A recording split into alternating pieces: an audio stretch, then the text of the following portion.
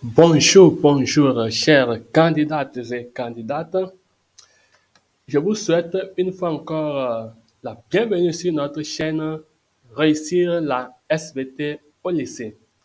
Dans cette vidéo, je vais vous corriger un TD sur euh, la fécondation et la reproduction chez les mammifères. Mon nom est Monsieur Djikbo Komlavi Beni. Je suis enseignant de SVT au lycée. Si c'est votre première fois ici et vous voulez comprendre et réussir la SVT, abonnez-vous et activez la cloche de notification. Pour me poser d'éventuelles questions, intégrez mon groupe WhatsApp. Le lien est dans la description en dessous de cette vidéo. Pour accéder à la description, vous qui êtes en train de suivre sur euh, votre euh, portable, il suffit seulement de, vous, de cliquer sur euh, le titre, le titre de la vidéo et vous accédez à la description. Donc, nous commençons maintenant l'exercice.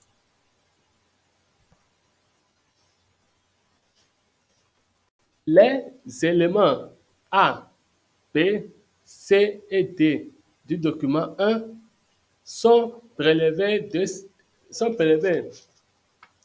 euh, certaines parties des appareils génitaux mâles et femelles. Euh, sont prélevés dans certaines parties. Sont prélevés dans certaines parties des appareils génitaux mâles et femelles.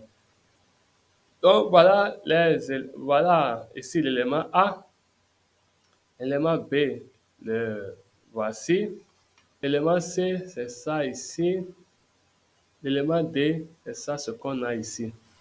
Donc voilà notre document 1. Maintenant, première question. On dit identifier ces éléments et compléter la légende. Question numéro 2. Préciser le lieu et le moment de prélèvement de chacun de ces phénomènes. Petit 3. Expliquer l'action des parties 2 et 4 de l'élément A sur la partie 10 de l'élément D au cours de leur évolution? 4. Quelle relation existe entre les éléments B et C?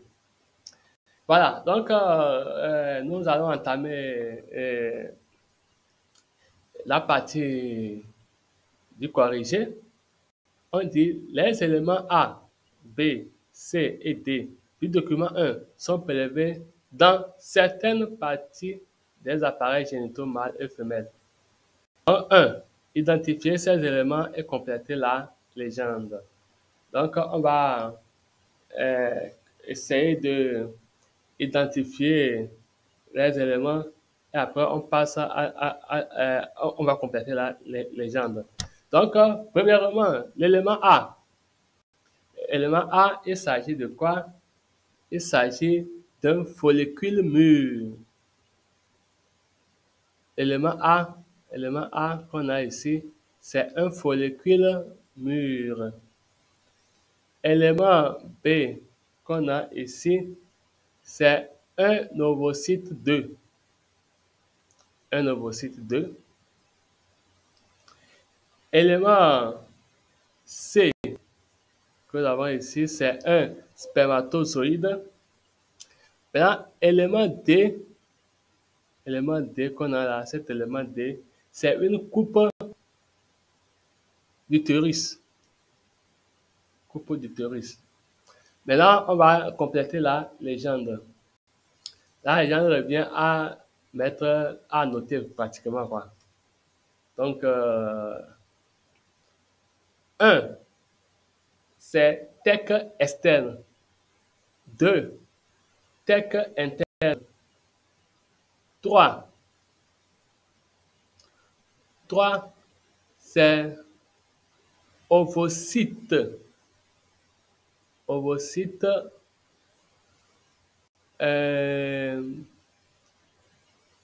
On a maintenant 4. 4 qu'on a ici, c'est La granulosa. Granulosa. 5. Antrum. 5. Antrum. 6.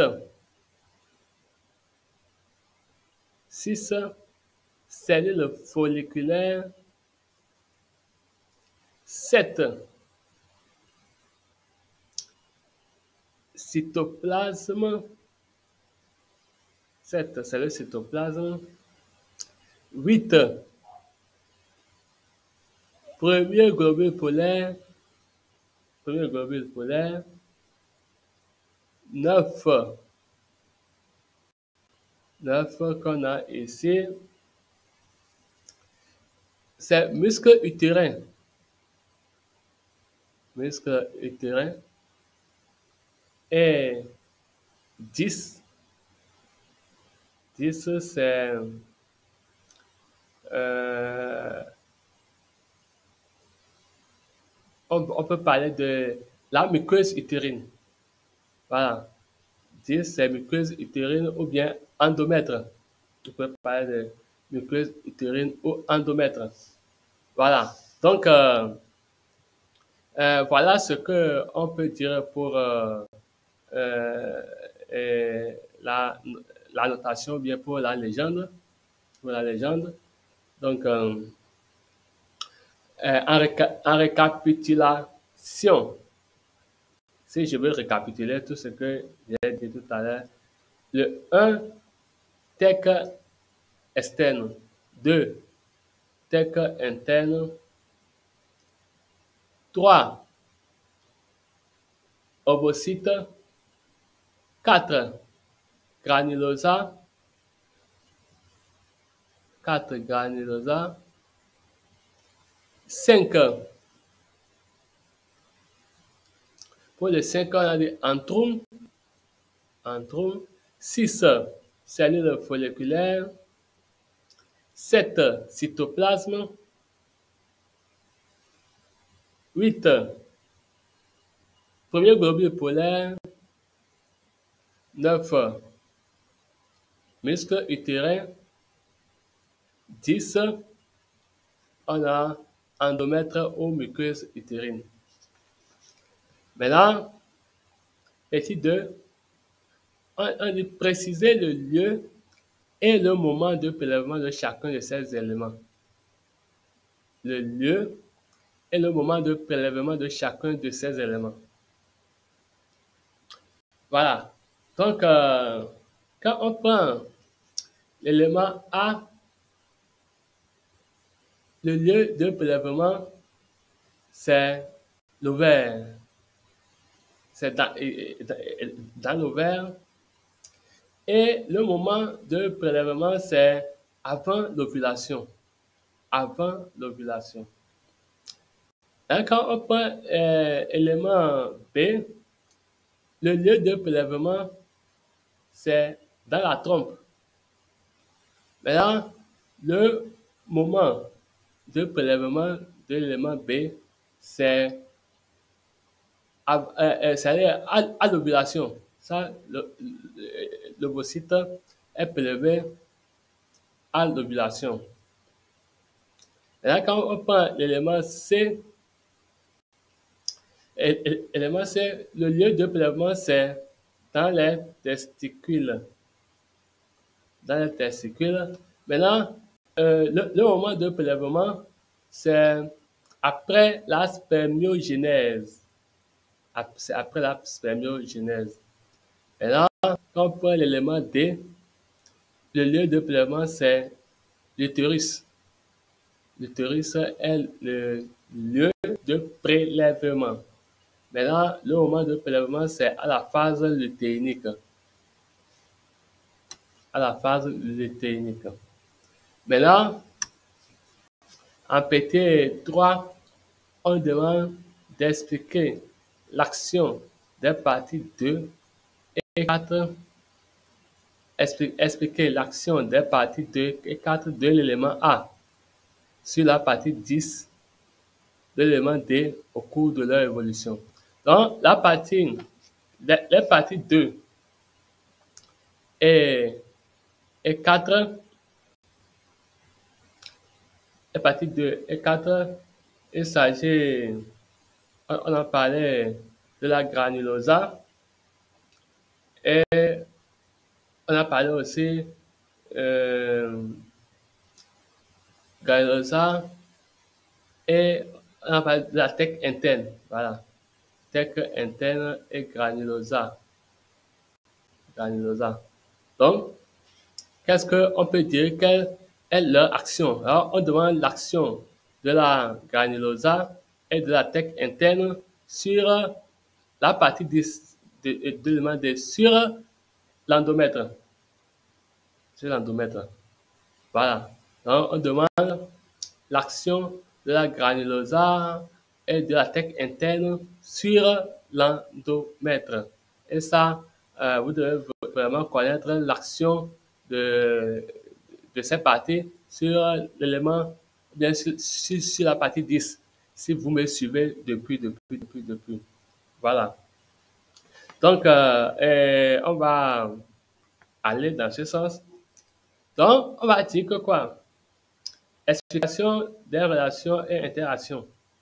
Au cours de la phase folliculaire, les cellules de la granulosa et de la tête interne du follicule mûr produisent de l'estrogène qui stimule la prolifération des cellules de l'endomètre. Donc, au cours de la phase folliculaire, il y a les cellules de la granulosa et de la tête interne du follicule mûr qui produisent de l'estrogène.